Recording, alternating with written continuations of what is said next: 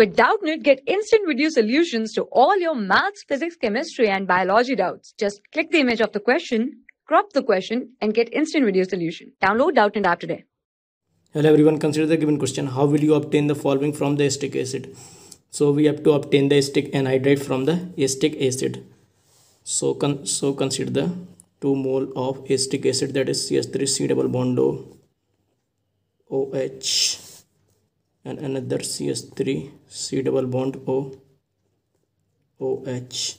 So when it is react with the P2O5 which is the dehydrating agent so there is the removal of one water molecule but it is a dehydrating agent so it remove water from the from 2 moles of ethanoic acid or acetic acid so there is the formation of the acetic anhydride that is CH3 C double bond O O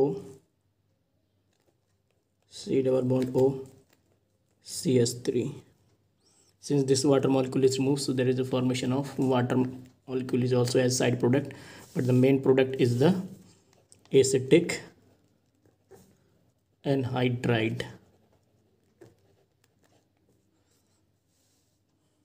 So this is the required method of the preparation of this acetic anhydride from the acetic acid that is CH3COOH thank you For class 6 to 12, IIT JEE and NEET level. Trusted by more than 5 crore students. Download Doubtnut app today.